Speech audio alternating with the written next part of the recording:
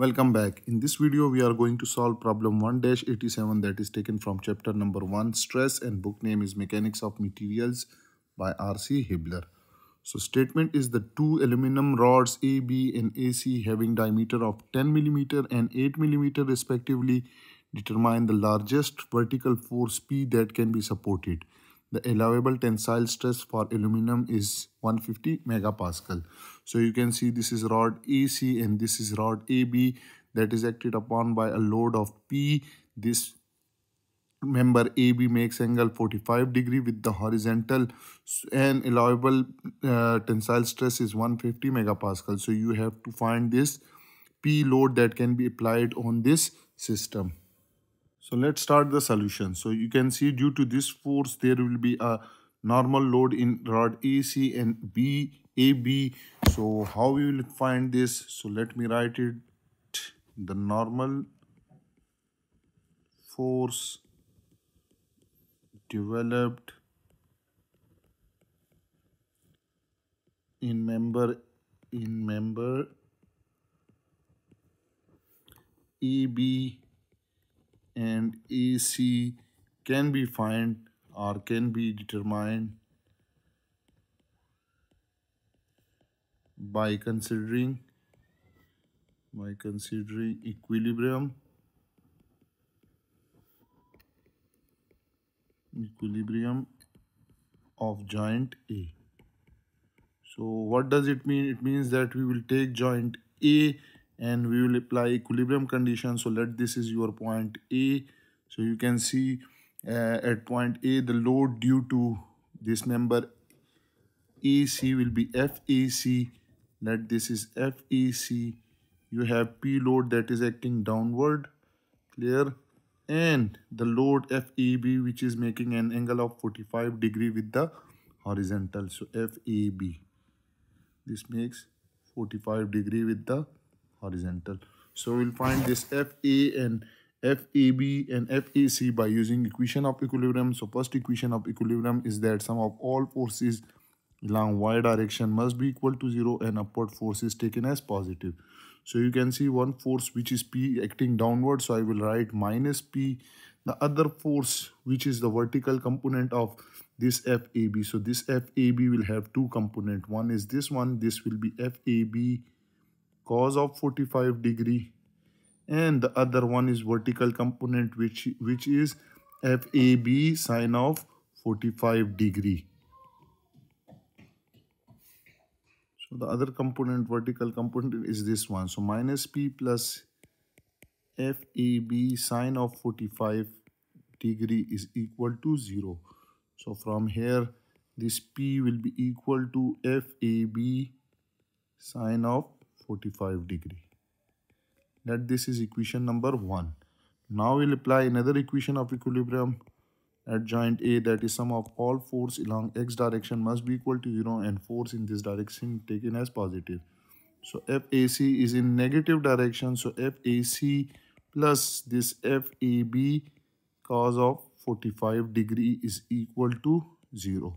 So from here you will get FAC is equal to FAB cos of 45 degree. And that this is equation number 2.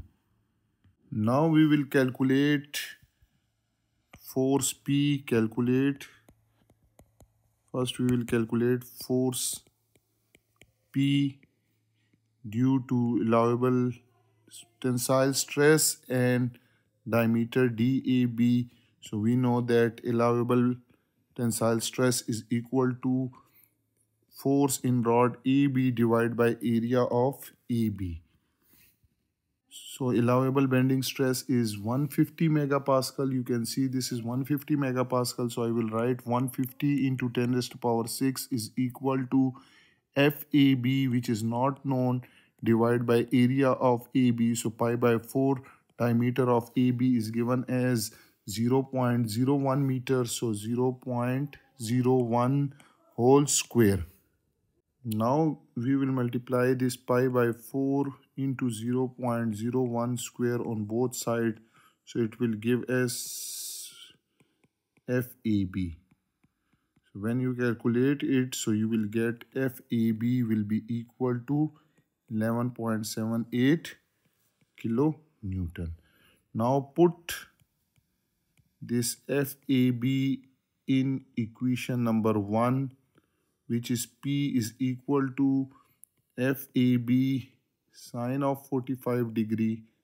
So 11.78 into sine of 45 degree will give you P. And this P will be equal to 8.33 kilo Newton and this P is based on allowable tensile stress in and diameter of rod AB. Now what we will do is that we will calculate this P for the rod AC.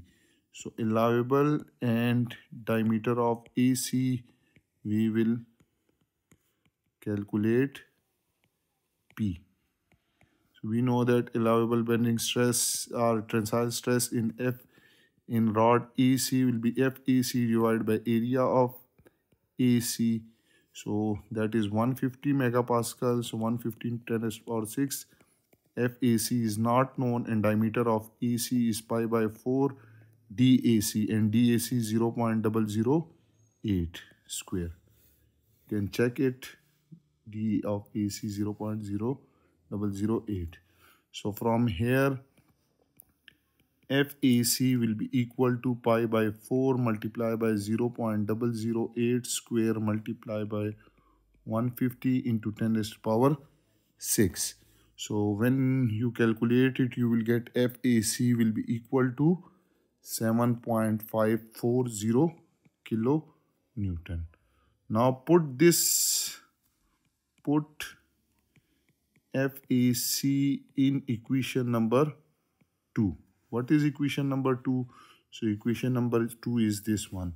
So FAC will be equal to FAB cos of 45 degree and from here we will get FAB is equal to FAC divided by cos of 45 degree. So put the value 7.540 divided by cos of 45 degree will give you FAB. Why we are calculating FAB? So this FAB AB will be equal to 10.66 kilo Newton. We are finding FAB because FAB is equal to P divided by sine of 45 degree from equation number 1. So put FAB in equation number 1 so you, what was equation number one is that P is equal to FAB sine of 45 degree. So from here P is equal to 10.66 into sine of 45 sine of 45 degree and you will get P will be equal to 7.54 kilo Newton. Now this P load is load due to diameter of AC and allowable uh, tensile stress in rod AC. Now you have two value. One is this one and other one is this one. So what we will do is we are for safety purpose we will choose we will choose the smallest one. Choose because it will be the safer. Choose P is equal to 7.54 kilo Newton which is the answer of our this question. And that was all about this problem 1-87 i hope you have enjoyed this video and you have learned from it. Those who are new to my channel then subscribe it and don't forget to press the bell icon so that you can get notification about my latest videos. If you have any question you can ask me in comment section. Thank you for watching and supporting me